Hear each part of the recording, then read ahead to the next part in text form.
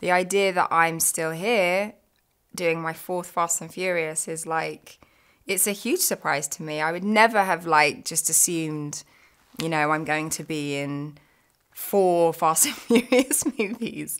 Um, yeah, it, but it's so wonderful, like that they, um, that the fans have connected with Ramsey, and and then I get to keep coming back and having more adventures. So, yeah, it's really exciting. It's really, really wonderful. And when I think about when I got that phone call to say, you're in Fast and Furious 7, like, I don't know if I would have seen, foreseen everything that's happened since, you know, so it's, it's great. One of the main things I hear from fans about Fast and Furious is how it really is a family affair. Like it's something that they do with their family. Like, oh, a Fast and Furious movie's come out. And so everyone kind of gets together and watches. And I was in a yoga studio like many years ago. Well, it's not that many years ago, but a few years ago. And there was a, a young woman in the class, and she was like, Oh my gosh, I love Fast and Furious. It's something I go and watch with my brothers. We all get together. It's like our thing that we do as siblings. And um, and that was really beautiful moment because I was like, I realized how for if you think about the the span uh, the many years that these movies have been going like there's entire generations that have grown up with them. So when she said that to me i really kind of felt that legacy of like she's grown up with these movies and her and her brothers and i just thought that was really special.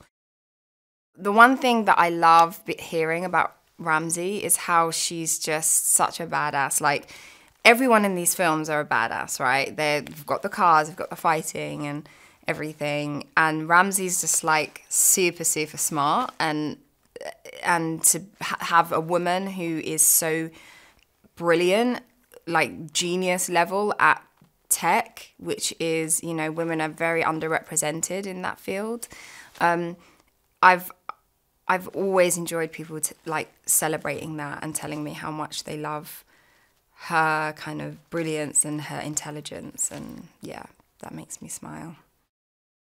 I think that my just general, I guess, taste and sometimes like kind of dark twisted mind at times is like really into the slightly open ended, like what's going to happen, not a nice happy ending with a bow on that, you know, tied on it at the end that I, I when I read that I was like that's really cool. It keeps everybody um, on their toes. It keeps the fans on their toes. It's a completely different energy to what we're used to these films ending um, as, and so I I'm really I'm sort of really interested to see how people are going to react to that because there's a lot of our characters that we don't know whether they're safe or not. We don't know what's happening. We it, it it's really left in a state of kind of disarray, and you know we haven't been as successful as we're used to seeing this team be,